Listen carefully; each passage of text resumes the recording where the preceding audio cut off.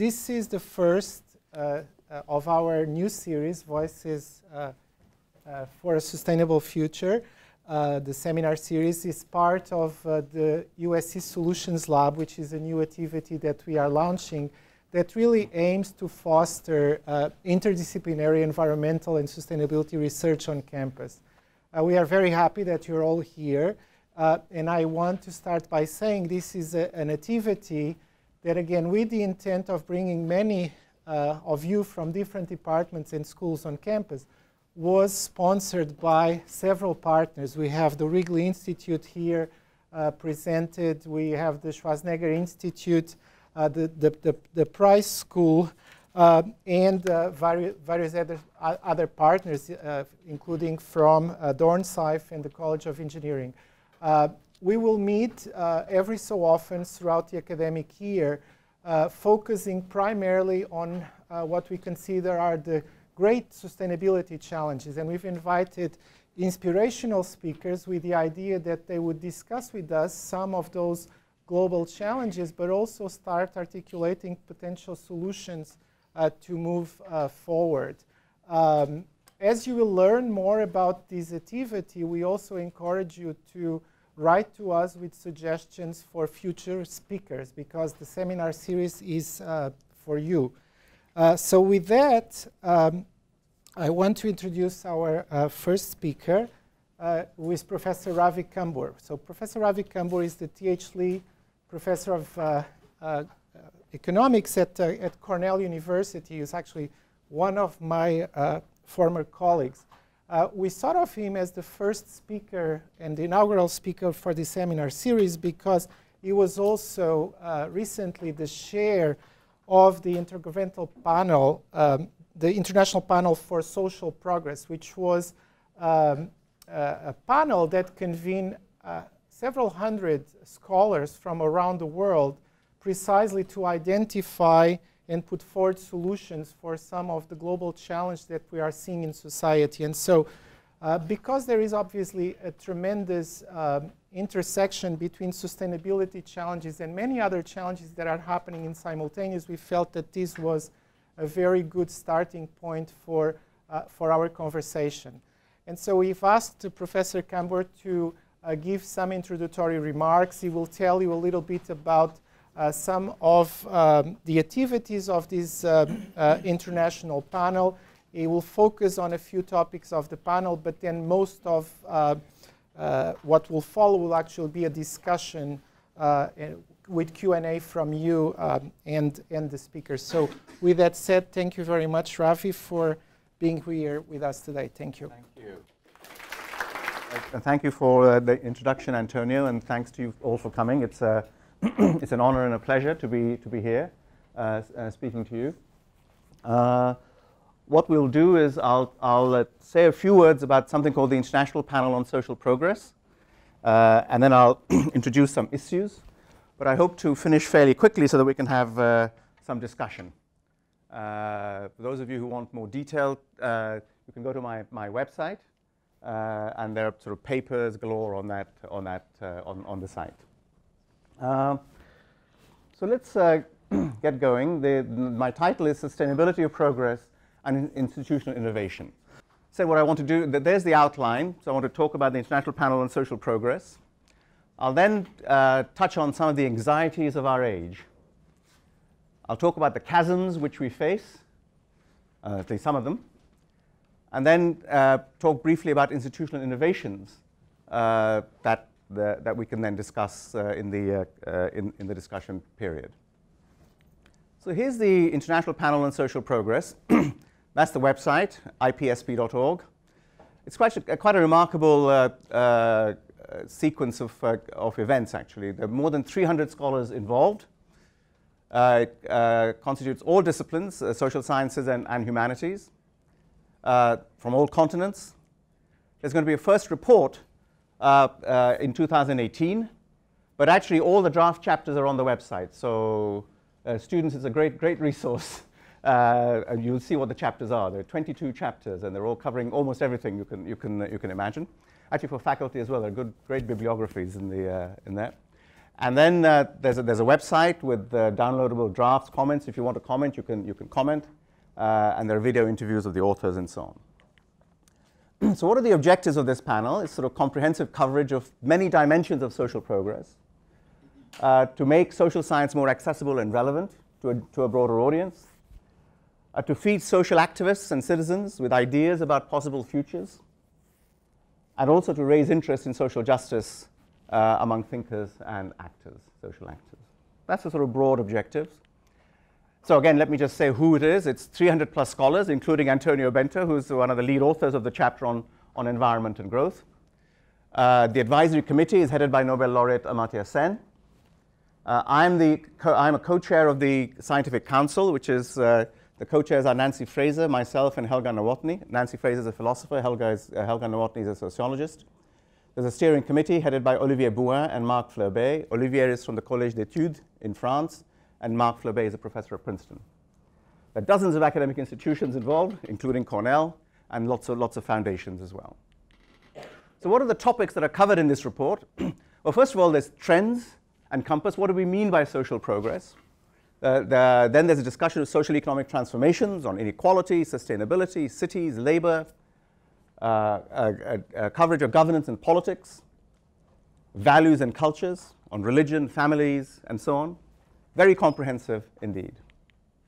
And here's a list of chapters. There are 22 of them. I'm not going to go through them all, uh, but you can see that part one is socioeconomic transformations, where issues of inequality, economic growth, uh, cities, etc., are covered. Part two is political issues, regulation, governance. Part three is values, norms, and cultures, family, uh, uh, uh, belonging, solidarity, and so on, and then some concluding chapters.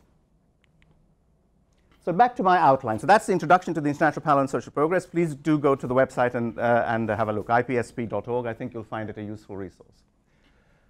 I now want to turn to why, to a, a, basic motivation for this panel, which is the anxieties of our age. You must all know that we face tremendous anxieties in our age. Here's a quote. I wonder if you recognize where it's from. it was the best of times, it was the worst of times. It was the age of wisdom, it was the age of foolishness. It was the epoch of belief, it was the epoch of incredulity. It was the season of light, it was the season of darkness. It was the spring of hope, it was the winter of despair. We had everything before us, we had nothing before us. Who's that by? The opening, obviously, it's the opening, it's the opening paragraph to the A Tale of Two Cities, essentially describing the period up, running up to the French Revolution. I think it actually matches rather well uh, uh, right now. Okay. So that's the point. We are in an age which is described by that. And what I want to do is to look at whether we are indeed in the best of times or the worst of times. And you know, in many aspects, the world as a whole is really uh, uh, the, last, the last three quarters of a century after the Second World War has indeed been a period of the best of times. No question about it. First of all, there's been no global con conflagration since the Second World War. You know, it took a thousand years up to 1950 for the world per capita GDP, but per capita income, to multiply by 15. It took 60 years for it to multiply by a factor of four between 1950 and 2008. In 1978, China's per capita GDP was roughly twice its level in the year 1000. But in 30, uh, 30 years after that, it grew by sixfold in value. Is in real terms, okay? Uh, at independence in 1947, uh, 70 years ago, India's per capita GDP was 20% above its value one, 1,000 years before. During the next 60 years, it increased almost fivefold. Yeah? Best of times, best of times. Global poverty, as we conventionally measure it, and we can discuss the technical details and so on, but using the World Bank poverty line, uh, fell by 42% of the world's population, being below the World Bank global poverty line, to 11% in 2013. Life expectancy has increased from just about 50 years in 1960 to 70 years half a century later. And this was underpinned by a fall in inf- uh, quite spectacular fall in inf- infant mortality from 120 to 30. Still very high, but a quarter of what it was 50 years before. Best of times. And yet, and yet, there's no question that the sense of anxiety in our times is palpable. Okay?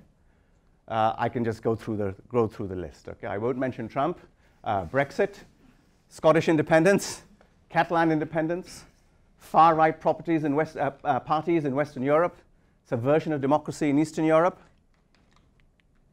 conflict and threats to democracy in Africa, Hindu fundamentalism in India, Islamic fundamentalism in the Middle East, Buddhist fundamentalism in Myanmar and in Sri Lanka. Okay? Uh, states in conflict, refugee flows, South China Sea conflicts, North Korea, etc. And then uh, coming to uh, uh, topics which are close to the heart of many people here, environmental damage, climate volatility, extreme weather events, etc. So you see, we've, we've come all this way, and suddenly we're anxious. So we built this sort of 50-story uh, building uh, meticulously over the last 75 years, and now it looks as though we're going to fall off, uh, fall off the top. What's going on? What's going on? And I want to take up some specific topics to discuss that. And all of these anxieties, and more actually uh, covered in different bits of the report. The 22 chapters cover different aspects of these. And what they paint, well, the picture they paint, is one of undoubted progress upwards, okay? but of huge chasms facing us. Uh, and, and they also try to come up with some solutions as to uh, some sort of institutional innovations uh, for, these, for these chasms. And the point is that there be no doubt that the progress of the last 75 years should not lull, lull us into a false sense of security. Here's another quote. I wonder if you'll guess who this is, where this is from. What an extraordinary ex episode in the, in the economic progress of man that age was, which came to an end in, I, I put the XXX's in so that otherwise you'd guess where it was from. Okay. Escape was possible at that time into the middle and upper classes, for whom life offered at a low cost and with the least trouble conveniences, comforts, and amenities beyond the compass of the richest and most powerful monarchs of other ages. The projects and politics of militarism and imperialism, of racial and cultural rivalries, of monopolies, restrictions, and exclusion, which were to play the serpent to this paradise, were little more than the amusements of the daily newspaper and appeared to exercise almost no influence at all on the ordinary course of social and economic life, the internationalization of which was nearly complete in practice. Right, can anybody say who that was? Mm? It's a hard one. it's a hard one, yes. It's, it wasn't Charles Dickens, no. It was, jo it was, it was John Maynard Keynes uh, in his famous book, The Economic Consequences of the Peace. And the XXX is August 1914. It's when the First World War started. So Keynes is describing the previous 70 years, pre the previous half century of untrammeled progress as, they, as he saw it, and it came to a shuddering halt in 1914. So, I, what, I what, I can't do is, of course, cover everything that's in the report and all these things. What I want to do is to focus on three potential chasms. Uh, one is inequality, the second is environment and climate, and the third is the nation state. I'll say least about environment and climate because you know, the expertise is in the room rather than, rather than with me. But I will say a few things about inequality and about the nation state. So let's talk about inequality. Inequality is also, I would say, a best of times, worst of times story. But, I, but ultimately, I believe that we are facing a chasm. Why is this? Now, I don't want to go into the technical details of how inequality is measured and the, how, the survey data that you use and so on. If there are any technical questions, I'm happy to answer during the discussion time. Okay? But just think intuitively that if one just apply the intuitive standard of the gap between the rich and the poor. You have all sorts of indices like the Gini coefficient and so on, but essentially it's an intuitive measure of the gap between the top and the bottom. But if you take that as an intuitive measure, I believe a fairly consistent story emerges over the last uh, over the last uh, uh, decades about global trends and patterns. What is that story? Well, the story is, as all of you know, that inequality in the US fell for 35 years after the Second World War. And after that, it started rising and has risen inexorably. And all of you know about that. Inequality has also risen in the UK, in parts of Europe, China, India, uh, Bangladesh, etc. Well, that all looks pretty bad news uh, assuming you believe that inequality is bad. Uh, what's the good news? It's actually that inequality in Latin America, over the same period of the last 25, 30 years, Brazil, Mexico, Argentina, Chile, etc., has fallen during this same period. You might ask the question, why? Why has it risen in the US and fallen in Latin America? I'll let you ponder that, and maybe we can come back uh, to it uh, in, in the discussion. There's further good news. China, India, Bangladesh, Vietnam, all these developing countries grew faster than the US and the West. China was growing at 10% per year, where the US was growing at 2% per year or less. Okay? So the inequality between countries fell. On average, China was moving closer to the US at a very fast rate. So even though the US was getting more unequal around its average, China was getting more unequal around its average. The average of China was approaching that of the US at the rate of 10 minus 2, 8% per year.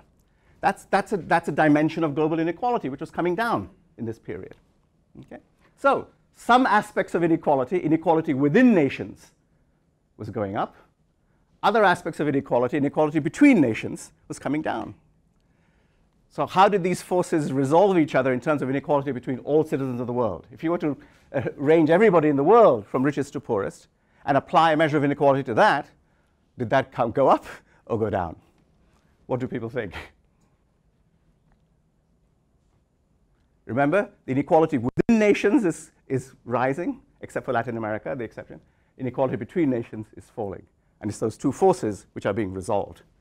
Which do you think won? Inequality in the world taken as a whole fell, which may surprise a lot of people. Okay? But remember, it's that, it's that notion of a billion people in China, on average, moving closer to the rich countries, which is driving this, uh, driving this result. Well, so overall, if that is your objective, inequality amongst all the citizens of the world, surely that's good news. What's there to worry about? What's around the corner? Well, the report makes a big thing of this. The big worry, the big worry for the world as a whole is a massive technological trend. And the trend is that of displacing basic labor in favor of skilled labor and capital. This has been going on for the last 20 years and, it's going to be, and it is going to be going on for the next 25, 30 years. And if you leave it unchecked, it's clear what's going to happen. the economics of it is quite simple. Okay? It's going to lead to concentration of market income in the hands of the skilled, in the hands of, the of capital, and away from basic labor. That's already happening, and there's a big debate as to how much of the rise, for example, how much of the rise in US inequality is accounted for by this type of force rather than other forces. As I said, its manifestations are already felt in the US and the UK, where, together with this toxic blend, uh, it has led to Brexit and to Trump. Think of Ohio, Wisconsin, Pennsylvania.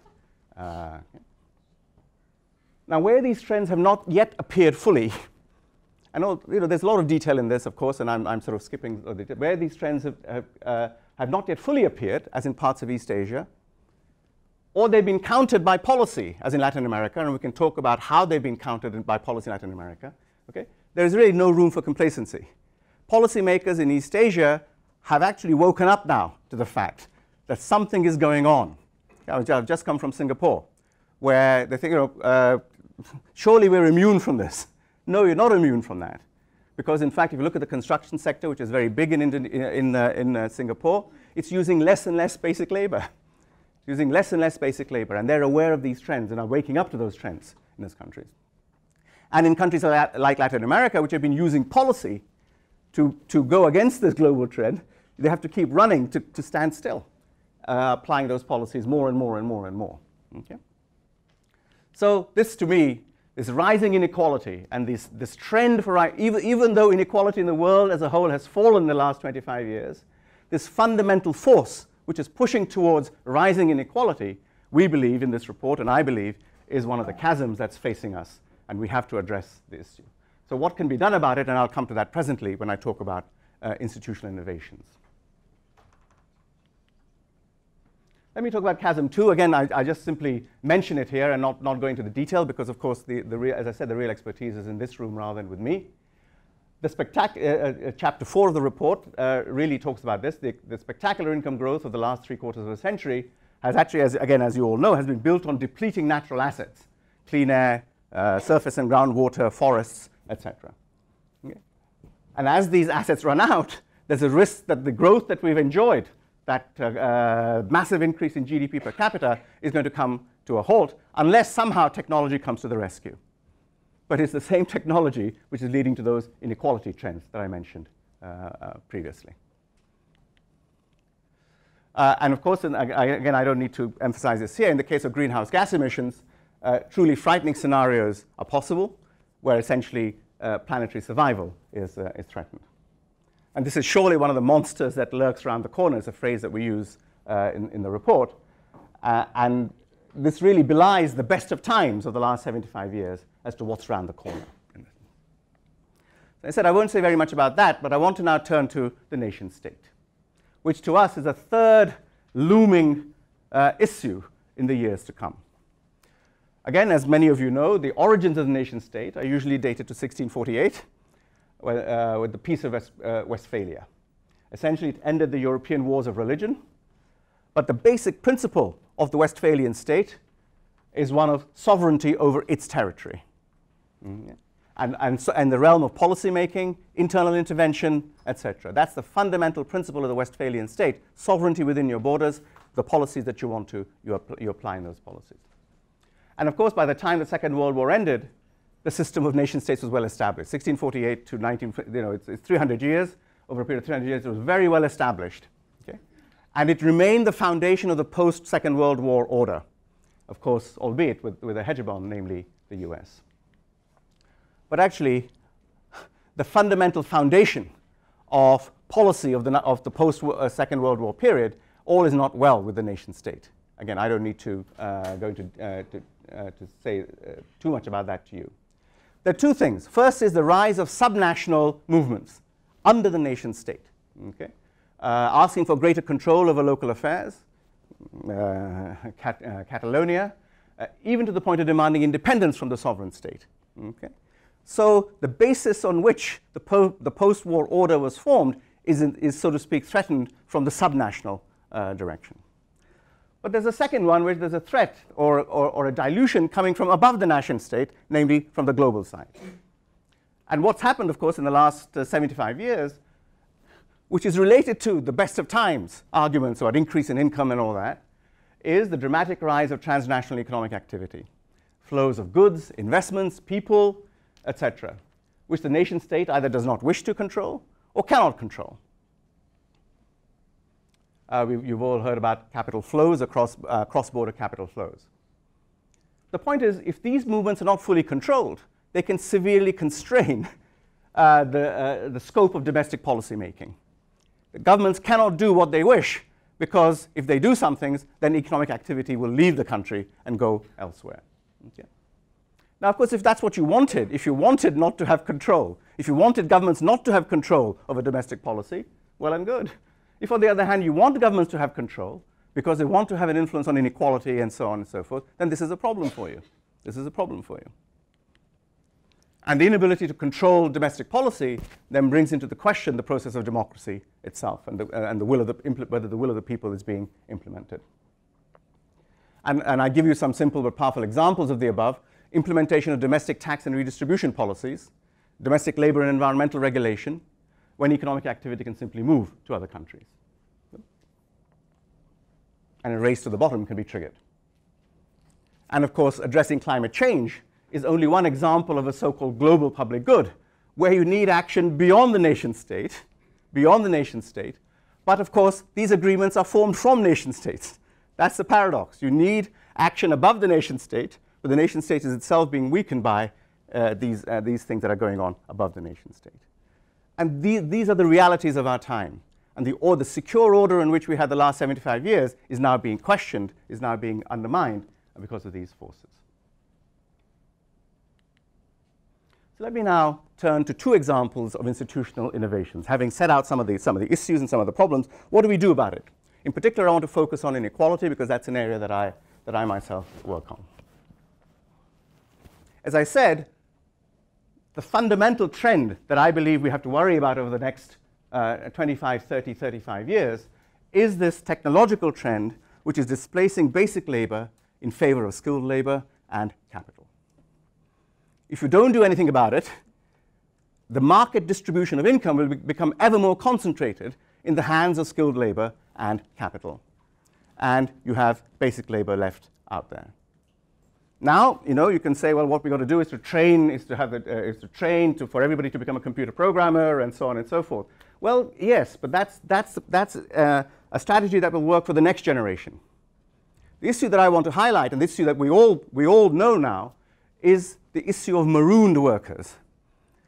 Think about the 40 year old steelworker, 45 year old steelworker, either in the US Midwest or in a Chinese state owned enterprise. The problem is already there in the Midwest, it's coming in China in the next 15, 20 years. Okay? Now, the notion that somehow you can retrain a 45 year old steelworker to become a computer programmer is fanciful. Mm-hmm. And yet, this person, these people are going to be with us for the next 35, 40 years. How are we going to maintain social stability in a situation where increasingly market income is going to be concentrated, so to speak, in the hands of the computer programmers?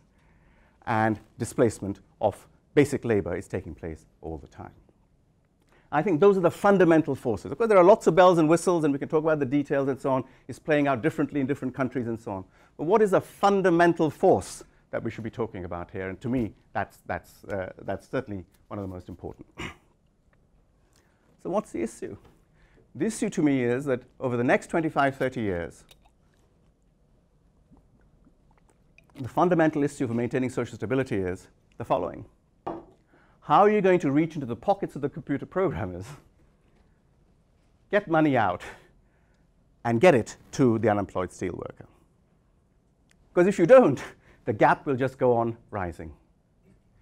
However, you do it, whatever mechanism, that is ultimately what you're going to have to do to maintain social stability. Otherwise, you'll just see this block of maroon workers go down, down, down, down, down.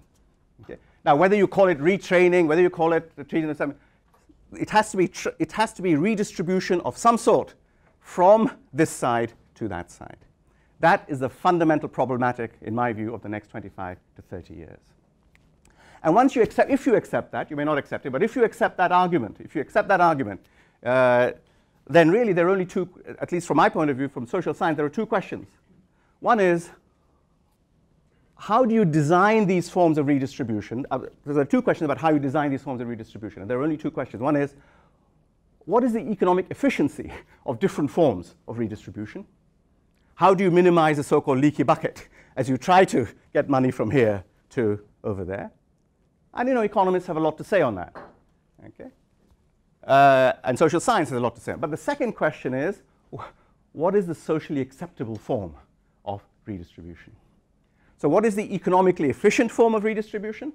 And what is a socially acceptable form of redistribution? And our problem for the next 25 to 30 years is going to be that there is not often an intersection between those two.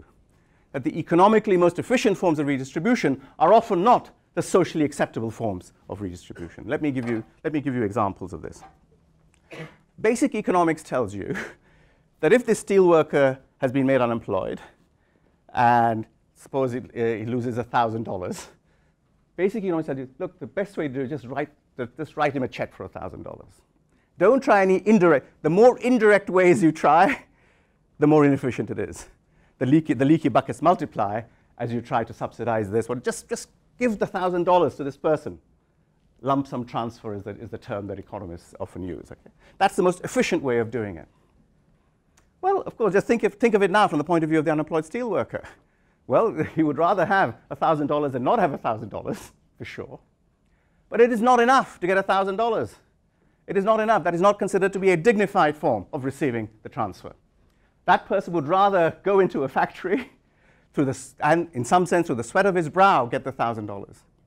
Even if it costs you $2,000 to set up the factory, to do all that sort of stuff, okay? Because in a market where steel that's being produced is not valued at all, essentially when the steel comes out of that factory, it's going to be dumped in the sea. But that doesn't matter. What's important is, is the form of transfer socially acceptable or not? I just give you that as an example, but there are many, many other examples, okay? So for example, in some countries, means testing of transfers is perfectly okay. It's perfectly okay as an acceptable social, social thing. You know, you want something from the state, the state has an absolute right to come into your home to find out how many TV sets you have, uh, what, what, your, what your sofa looks like, and so on. Because we are giving you something, we want every piece of information about you. In other countries, in other countries, it is demeaning to have somebody come into your house and look at it, and, and it will not be accepted. The UK is an example where means testing is thought to be uh, uh, uh, undignified. Okay? And, and it varies from country to country. So the other issue that I'm saying is that the economics of it, yeah, it varies, but it's relatively uniform. the economics of efficiency analysis, so whether this form is more efficient than that, whether the leaky buckets are fewer, the leakage is fewer here than, is, I know, I know there are variations, but it's more or less, economic analysis is more or less uniform. What's not uniform is the social acceptability of different forms of transfer. And that, uh, that is where I think what social science has to be doing. The social science has to be asking the question, how do we design mechanisms of redistribution which combine economic efficiency with social acceptability? And if the socially acceptable method is not the most economically efficient, well, we have to face up to those, to those trade-offs. Uh, and, and, but, but that is what social science analysis is for. And we have to experiment. You know, there, I mean, I, in, in, in, the, uh, in, in, the, in the report and elsewhere, so let me just uh, run through this. So this one. So here are different forms. Okay, there's cash transfers, there's basic income, conditional cash transfers, etc. As I said, economics has little, if anything, to say on social acceptability of different forms of redistribution.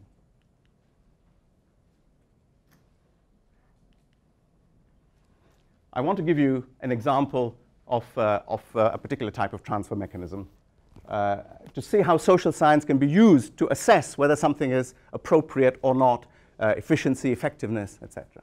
Because I do believe, given these uncertainties, the institutional innovations will require experimentation. We'll have to try out different methods, see whether it works or not. And when you do experimentation, when you try out different methods, you have to build in the evaluation right at the start. You can't sort of say, well, I'm going to do it, and then afterwards think about evaluation. It has to be built in right at the start.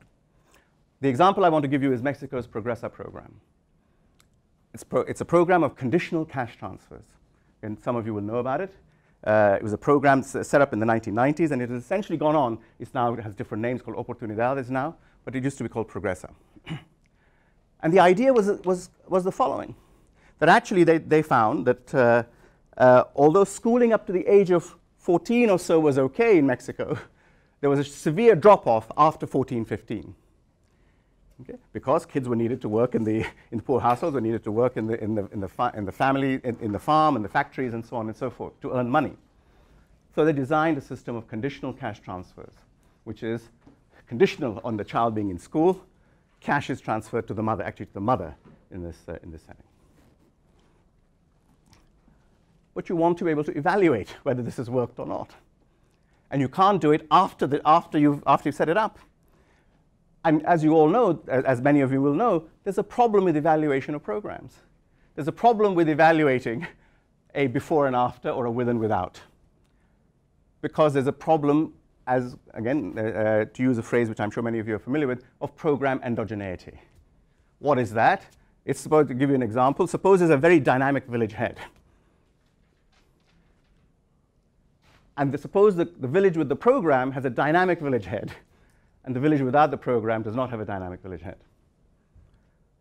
You don't know whether the program was there because this dynamic village head used his or her contacts to get the program there. And you don't then want to misattribute the improvements of, let's say, social indicators in this village compared to that one. Okay? You don't want to misattribute that to the program, when actually the village head, not only did he get the program there, he was also working away to improve these, uh, these indicators in, in order to separate out the causality, whether this program worked or not, you have to really do quasi-experimental design. And that's what Santiago Levy did in Mexico. Santiago Levy was a professor of economics at Boston University. He was called by the president of Mexico, said, I want you here to design Progresa scheme.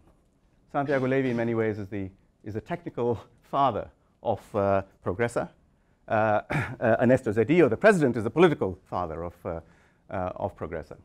What they did was that they designed, they, they, desi they, they set up the evaluation at the same time before the program. And the way they did it, it was very cleverly done, quasi-experimental design, which is that you couldn't, you couldn't have this program uh, uh, uh, simultaneously overnight. It had to be rolled out. And the way it was rolled out was, it was argued, more or less random.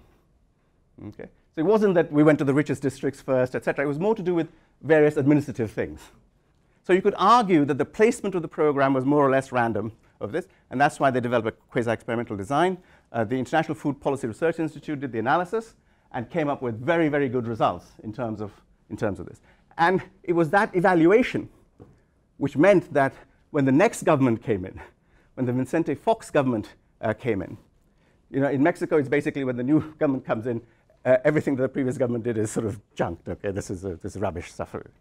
This was a program that was kept. the name was changed from Progresa, sort of from a left-leaning government, to Oportunidades from a more right-leaning government. But the essence of the program was kept. So again, contribution of social science, very, very important here. I want to uh, the last thing I want to take, talk about is institutional innovation two, which is uh, a completely different area, which is repurposing the World Bank. In 1944, actually a few, uh, a few weeks after the D-Day landings, uh, a group of people met at the Bretton Woods, uh, Bretton Woods Hotel in, uh, at, in, in New Hampshire to essentially to design the post-war world, to design the economics of the post-war world. The British delegation was headed by John Maynard Keynes, the same person who wrote that thing about the end of the First World War. Okay. The US delegation was headed by Harry Dexter White, who was Roosevelt's right hand man, both economists. And they essentially sat down and designed uh, the world order for the next uh, uh, however many years. The two key institutions that emerged were the International Monetary Fund and the World Bank. The IMF was charged with managing the world's exchange rates, and the World Bank with reviving investment in the, in the, in the, in the war-torn, in the war-torn economies of Europe and Japan. Keynes designed the so-called sovereign loan instrument. It's a sovereign loan instrument, it's a loan to a country, and the loan is guaranteed by the governments of the world. It was that design which got over the commercial risk factor, which then meant that Wall Street was willing to lend to these countries because those loans were guaranteed by the governments of the world. It's a sovereign loan with so, so-called severally and jointly guaranteed. It was a brilliant design of a, of a financial instrument. And essentially, this was brilliantly successful and contributed greatly to the post-war economic boom the world over. The revival of France, Germany, of Europe, and so on, uh, and, and Japan owes a lot. I mean, there are many other factors, of course, I know, owes a lot to this type of design of an institution targeted to a particular problem. Well, in fact, it was so successful that it was replicated. And now the Asian Development Bank, for example, has the same type of loan instrument. The Inter-American Development Bank, which is the Latin American bank, has the same instrument. African Development has the same instrument and so on. So in fact, the World Bank has been the victim of its own success because everybody else is now doing the same thing. And of course, private capital has also uh, increased. So what's happened is that the World Bank is actually now a very small player in the world, in the world which it helped to create, uh, so to speak, because there are so many other institutions playing this game. But could it be repurposed to address the problems of today?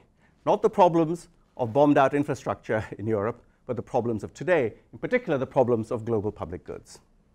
Okay? There are these many issues of climate change, etc. We have, we have, uh, uh, and we have a global institution that is looking for a purpose. It has lost its purpose from, uh, from where it was before. Okay? And the answer to my mind, and I've written about this, is yes, potentially but it needs institutional innovation to bring this institution, the World Bank, into the age in which we now live and for the purpose for which it might now be best suited. What do I mean by that? Well, remember who designed the World Bank? It was the US and the UK, the major victorious powers at the end of the Second World War. Okay? Uh, and the powers and, and the voting structures, the governance structures of the World Bank reflect the world of 1944, the world of 1945, not the world of, the, of, uh, uh, of 2010, not the world of 2019, which will be 75, uh, 75 years after the Bretton Woods Conference. Okay? The US is, in fact, the largest shareholder. Not only is the US the largest shareholder, it has veto power. Because the, the articles say that you need, you need 85% of the vote to change the charter, and the US has 17% of the vote. Okay? And the US will, will not certainly not under the current administration, give up uh, uh, its voting power to allow other countries to come up. In other words, it is not willing to give up the voting power to reflect the economic realities, the economic power of today. And that's the basic institutional governance issue that we now face. That the power, that the governance structure of this major global institution, which was brilliantly successful, but now needs to be repurposed for, for global public goods, is, does not reflect the current uh, power structures in the world. And what's happened is that countries have tried to go outside it. Indeed, the Asian Development Bank was led by Japan. China has formed the Asian Infrastructure Development Bank, and India has joined China in forming the New Development Bank. So new institutions are forming to get around a power structure which reflects 1944. But why not change that governance structure to purpose this institution, which is a truly global institution? The Asian Development Bank is not a global institution. The Asian Infrastructure Bank is not, Bank is not a global institution. The New Development Bank represents the BRICS countries and is not a global institution. But in order to do that, you need to change the institutional power structures. Institutional innovation is at the heart of this, uh, uh, of this problem. So let me conclude. The last 75 years have seen enormous progress in many dimensions. Yet, we live in an anxious age. The reason is that there are various chasms that are opening up in front of us. Okay? So even though we're doing very well, thank you, you can just see these drops coming in the future. And among these chasms, I've talked about rising inequality, environmental and climate catastrophes, and the pressures on the nation state. Institutional innovations in many dimensions are needed if we are to traverse these chasms before us. Examples of such innovations include new forms of redistribution to address inequality and repurposing of old global institutions like the World Bank for the new realities. The report that I started off with, the IPSP report, contains, of course, much broader analysis of this and many, many more ideas on such innovations. I hope you will uh, get a chance to read it. Thank you very much. Um, so, uh, as you and I were talking about upstairs, I think um, economists have been doing really interesting things in the podcast space recently. Uh, and one recently, I don't remember if it was Planet Money or 99% Invisible or something, but um, they talked about, I think Finland, um, within the past 10 years, did an experiment in uh, guaranteed basic income. Um, it may have been another Scandinavian country, I don't remember, but um, they actually have a specific department in their government that is like the Bureau of Experimental Policies or something like that. Um, uh, and it is from a design background, and so their whole purpose is they take a segment of the population and they run an experiment on them, and then they decide if they want to make that a policy. One of the issues that they brought up, which was interesting, was that um, it does bring up some questions about can we do that in a democratic state because the premise of democracy is that all men are created equal, but the premise of an experiment is that there are two unequal groups. Um, and, and I think that is particularly difficult to address in America, both because of the sheer size of the country as well as the um, political discourse right now. In you know Finland, it's much easier to do an experiment in universal basic income than it would be in Alabama. How would you address um, sort of those, like if we want to do more experimental policy work in the United States, which I think is necessary, especially if we're going to make the changes that you think we need to do, how would you address the issue of inequality that's inherent within Well, it's a very, it's a very, very good question, and I, uh, and of course, one faces these issues uh, uh, all, all the time, actually, in this, uh, in this sort of setting. So there's a, there's a certain fashion, in, particularly in my area, development economics, for randomized control trials, uh, where one thinks one's in a lab, and you have two petri dishes, and you, you put something in one and through a pipette, and you don't in the other one, and the green stuff grows on this. So they, well, it must be the stuff that I put in the petri dish. That's, that's the basic logic of these sorts of things. Uh, and, and of course, uh, uh, there are all sorts of general methodological issues, which I won't get into, internal validity, external validity, but you're raising, uh, you're raising sort of ethical issues about these, about these, sorts, of, these sorts of experiments. Um, and and I, th I, think you're, I think you're quite right, particularly policy experiments of, of this time. So remember I talked about Progresa thing. They didn't say, we're going to give these, uh, we're going to give these districts this thing and not those districts it emerged out of an administrative process which was, which was accepted by the political party. So I think that's quite, that's quite important. There was another uh, example of this. Uh, in India, for example, the, the uh, constitutional amendment uh, mandated that uh, in terms of rural, uh, rural village gram panchayat, so to speak, that 30, 33 and a third percent of them would be, head, would be headed by women. Well, it's all very well to have that, but how do you actually implement this? How do you actually implement it? Well, in the state of West Bengal, when we started the thing, uh, the, the civil servants said, well, how do we implement this? I said, well, I, you know, I know what we'll do. We'll, we'll give a number to each of them, uh, and they will pick a number at random, and then every third one will go. So essentially, they picked randomly. they, that's the, and Esther Duflo knew institutionally this was what was going on, And so she immediately did surveys in those that, those that had uh, the women had those that didn't. So you had a randomized, in effect, a randomized quasi-experiment in this in this thing. So I would say that uh, the ethical issues are extremely important in this thing, and the role of social science is well, if you if you cannot do quote unquote pure randomizing, how do you actually uh, then use the methods of social science to get inference out of it? So this is a very live area uh, just now. Yeah. Uh, uh, yes. Then we'll go to that side. Yes. Please some, uh, some background in uh, labor and nation state. I was wondering, um, some of the implementations we have here in Los Angeles, uh, recently the minimum wage law, it's uh, a schedule to increase and phase it in. Do you think that that is an effective way to you know, redistribute income? Or I know there's arguments for the unemployment rate being fractionally uh, effective, but within the scope, um, having a social science where, you know, Roosevelt was in 33 saying a subsistence level, how do we translate that to this century? And what are the markers if we are to um, integrate this administratively, you know, doing it year by year, would we have an impact if we integrated this, not just the subsistence level or living wage, but a living standard that the country should have?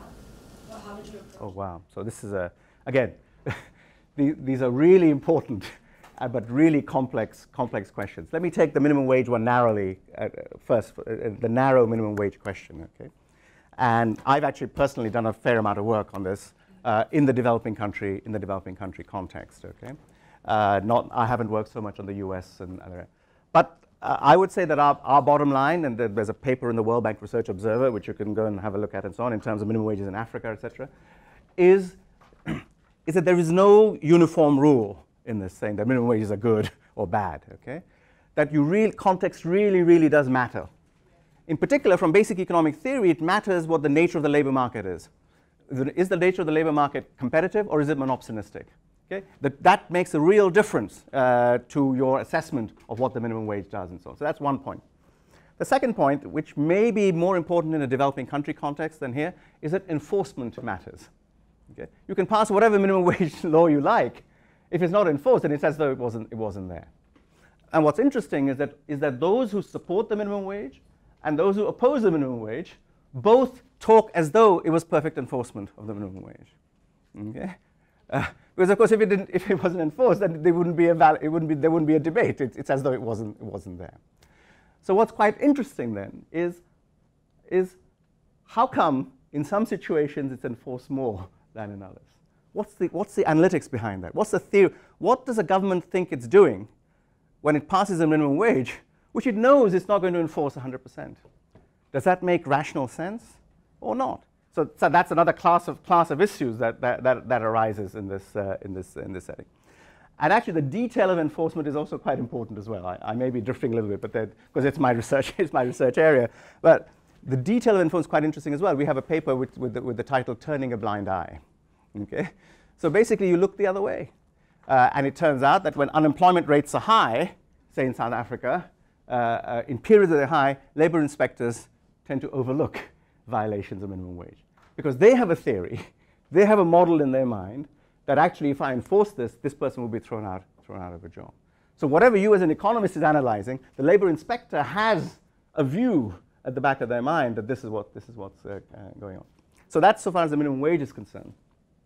Uh, in, in, in, terms of, in terms of linking uh, the minimum national standard to this, that's again raise, uh, raise, a very interesting set of questions about, there's a debate about whether the basic, basic income uh, is enough by itself or whether it should be supplemented by a minimum wage or whether in fact the minimum wage should be our lead policy and then do supplementary through income transfers. Okay? And you can see the two views basic minimum wage, it, it, depends on, it depends on what people believe is fair and just, okay? So if in, if in some countries, it, the, the notion is, this is my right as a citizen to have this. If that is the mindset, fine, there's no loss of dignity in receiving, receiving that. But on the other hand, if the, if the view, not only amongst the givers, but the receivers, so to speak, is this is charity, okay? That this is something that's, that's whatever, it's like just getting, it's just, it's just you now get the welfare check through. If that is the, if that is the mindset, Okay? Then no matter what we talk, uh, say about economic efficiency of this versus that and so on, and there are questions about economic efficiency, fiscal exposure, and so on. We can have those debates to, to our heart's content. but it's the social acceptability of that which is, which is, uh, which is crucial. Yes. Uh, yes, please found your point on the World Bank credit trading. In the past years, Greeks have harped on how the World Bank has promoted the Washington Consensus and created debt instrument problems for emerging economies. And the fact that there are other banks internationally who have started issuing different types of instruments has given them a source of power and independence.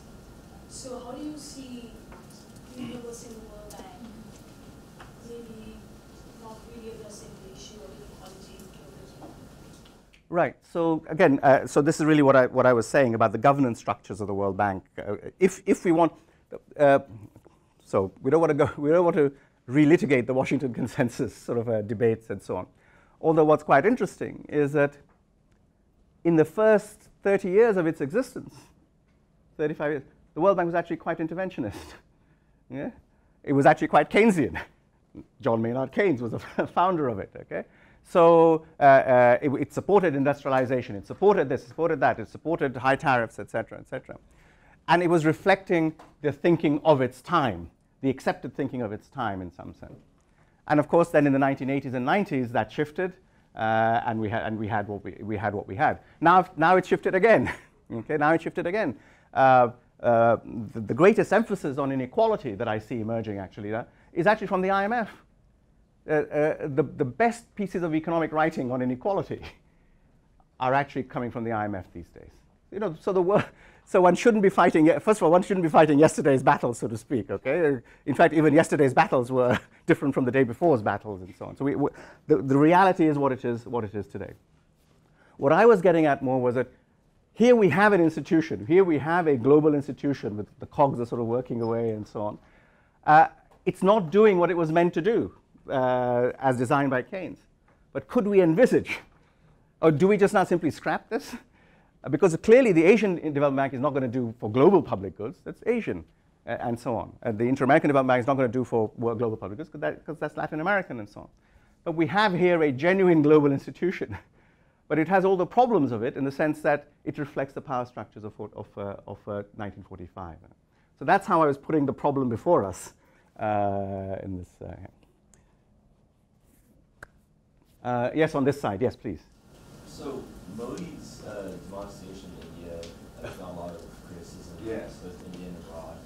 Um, and he's rebutted that in, it's not now that uh, we'll see effects, but it's in 100 years. Do you think that's a fair assumption to say? Okay, so Modi. uh, let me, in, in, the interest of full disclosure, uh, let me say that he's not my man. And I'm certainly not his man. Uh, so, but let's let's. Uh, I mean, know, again, I, I, mentioned the rise of Hindu nationalism, fundamentalism, in, in, in as one of the areas that uh, that, are, that are the anxieties of our age. But leave that to one side. Let's for, focus narrowly on the demonetization exercise that that, that happened. And from what you say, if, if it is true that what, in some sense, he is therefore accepting that in a fairly narrow economic sense, uh, the experiment failed. He's saying, well, wait for, 100, wait for it for 100 years and so on and so forth.